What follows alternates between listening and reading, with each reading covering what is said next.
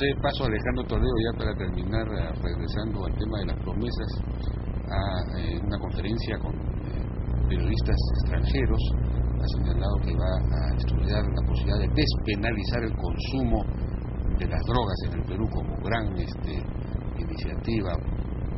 Bueno, de hecho ya hay despenalización de montos pequeños de marihuana y otras cosas, ¿no? Eh, yo creo que es una iniciativa que suena bonita, pero no agrega nada. Sí, porque En realidad es el consumo está despenalizado, no sé cuál es la Sí. propuesta. Es una cosa.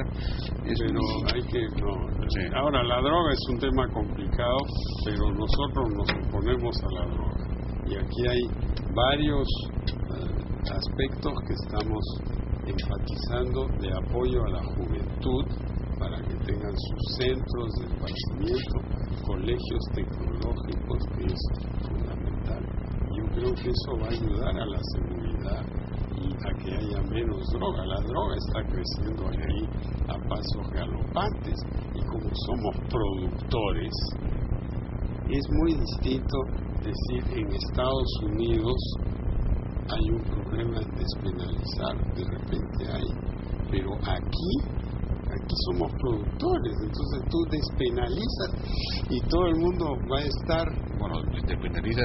eh, Coqueando. el, el consumo está despenalizado. Sí, ¿ah? sí, sí, pero. Lo, lo que no está lo que está penalizado es la comercialización. La comercialización. Eso es lo que sería complicado si es que no lo hace Estados Unidos a la vez. Así es. Bien, pero Pablo Kuczynski, muchas gracias por su participación. Y aquí está el cuadro que dice, es- este, este informe del año 2006, 80% según esto fue el aumento a los profesores en promedio, en promedio. De acuerdo. Muy bien. Nosotros nos despedimos. No, no nos despedimos, perdón. Vamos a una pausa. no, Ya te me- olvides, no te olvides, tu programa sigue.